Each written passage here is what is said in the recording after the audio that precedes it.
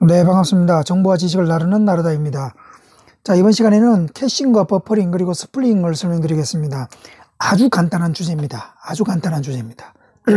그런데 이 주제는 caching과 버퍼링, spooling은 가끔 1교시 필기 문제로 나오기도 하지만 더 중요한 것은 면접 때도 많이 물어봅니다. 즉 이것도 굉장히 old한 주제지만 기본을 알고 있느냐를 물어보는, 즉 검증하는 문제이죠. 그래서 아주 간단한 강의가 되겠습니다. 그 개념과 특징을 정확하게 기억을 하시는 시간으로 가지시면 좋을 것 같습니다. 어, 캐싱은 캐시라고 하는 고속의 메모리의 데이터를 적재하고 활용하는 기술입니다. 이게 중요한 정의죠. 캐시는 캐시는 CPU에 내포되어 있거나 또는 CPU가 적재되어 있는 메인보드에 올라와 있는 경우도 있습니다. 그래서 L1 캐시, L2 캐시, L3 캐시 뭐 이렇게 전개가 됩니다. 결국 캐시 목적은 CPU와 주기억 장치, 즉 데이터는 하드디스크로부터 하드디스크로부터 메인 메모리로 올라가고 메인 메모리 올라간 게 CPU에 쓰이거든요. 요 중간에 요 중간 어딘가에 캐시가 있는 겁니다.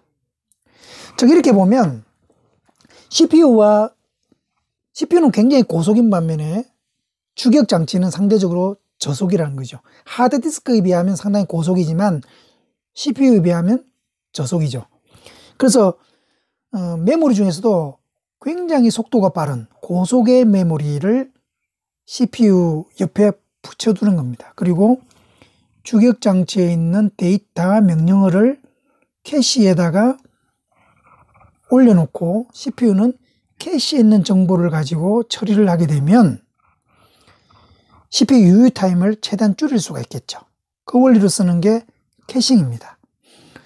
버퍼링은 주기억 장치의 일부 또는 이 버퍼 메모리를 쓰는 특정 하드웨어 일부 기억 장소일 수 있습니다. 근데 대부분은 주기억 장치의 일부를 버퍼 메모리로 할당한 다음에 사용 예정 데이터를 거기에 임시로 저장하는 장치 간 처리 속도를 완화하기 위한 기술입니다.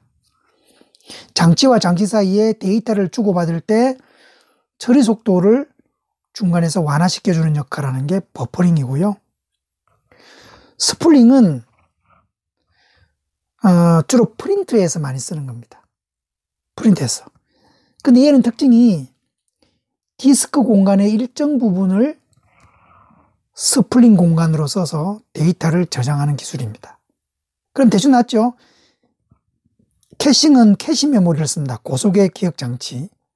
버퍼링은 주기억 장치를 주로 써서 장치 간의 속도를 완화시킨다.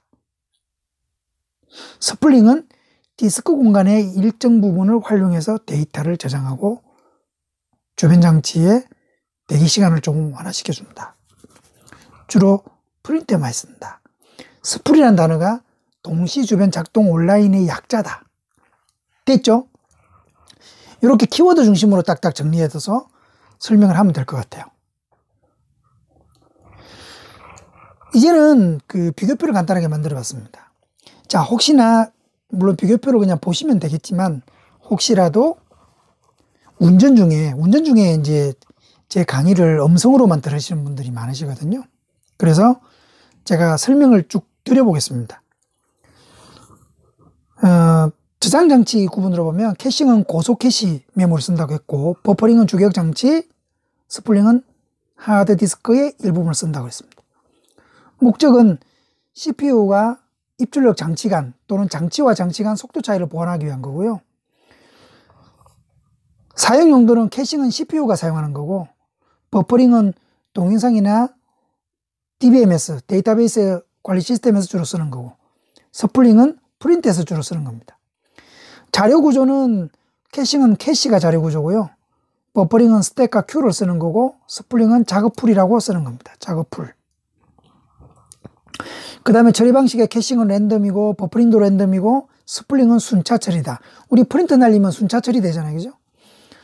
그 다음에 사용 방식은 caching과 버퍼링은 단일 작업 계산하고 단일 작업 입출력 하게 됩니다. 스플링은 다중 작업 계산하고 단일 작업 입출력 합니다. 이게 조금 다른 점이고 캐싱과 버퍼링은 하드웨어적으로 구현하지만 스플링은 소프트웨어적으로 구현한다. 여기까지입니다. 간단하죠? 네, 특정 중심으로 잘 기억을 해 두시면 되겠습니다. 수고하셨습니다.